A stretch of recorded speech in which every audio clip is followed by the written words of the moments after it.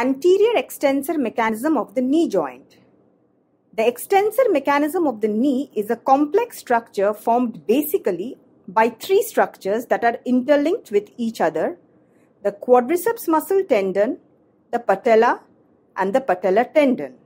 While the quadriceps muscle tendon attaches to the upper pole of the patella, the patellar tendon is seen from the inferior pole of the patella. In addition to these, the patellar retinacula, restrictor ligaments, Hoffa's fat pad, prepatellar soft tissue should be known about. The extensor apparatus is the main knee extensor and stabilizer of the patellofemoral joint. The quadriceps tendon, patellar tendon are well seen in the sagittal images as low intensity structures as we see here. The infrapatellar fat pad is a very important region. This triangular fat pad is located as we see just below the patella, posterior to the patellar tendon. The patella is well seen in the axial images and we can see the trochlear groove of the femur and the patella comfortably placed where it should be normally.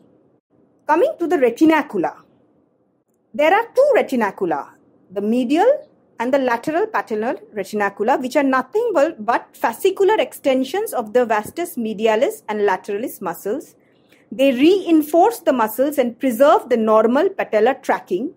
They look like low signal intensity structures. They are actually condensation of two layer of fibers.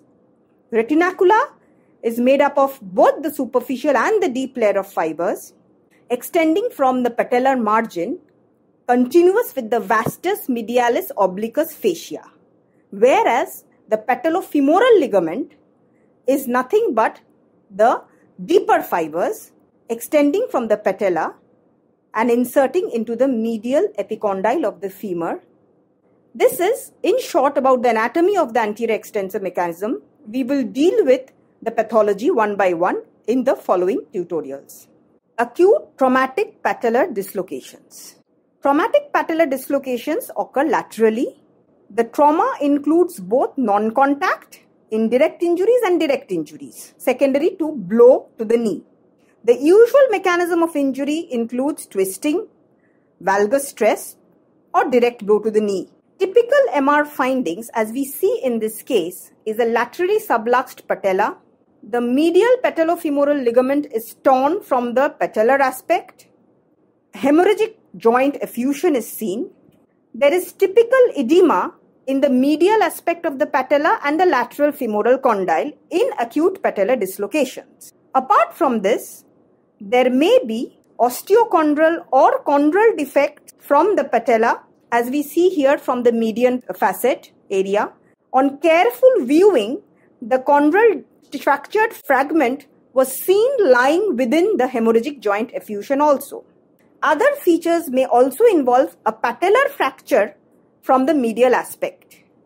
This patient was subjected to medial patellofemoral ligament repair. Arthroscopic lavage was done and the small chondral fragment was washed away.